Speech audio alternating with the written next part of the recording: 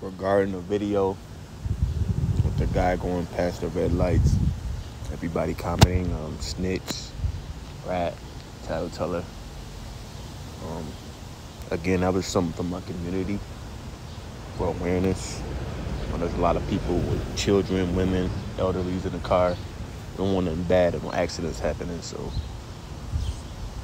I think it was a good thing to post for awareness and um, to let the officer know that you know the guy was passing red lights. It was a real late night.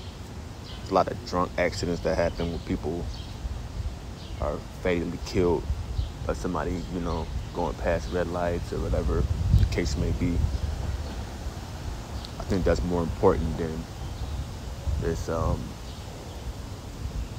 you know keeping to yourself and not letting people know that other drivers are driving um, very recklessly and it's a danger to uh, ourselves and others which I like to live and I like the other people to be safe as well. I don't like to see people at harm or at risk. I don't think it's um, fair for other people. We all should have a fair shot at life. So I hope you guys like, subscribe, and um, just keep the positive and good moods. And um, I wish you guys could uh, understand what I'm saying.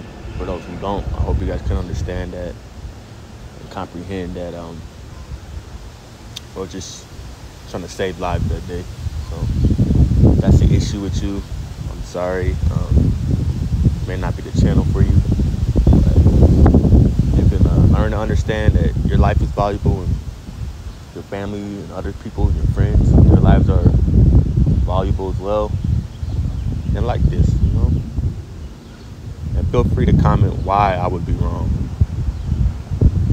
We could uh, debate this instead of just a one word emotional response and then leaving powerlessly.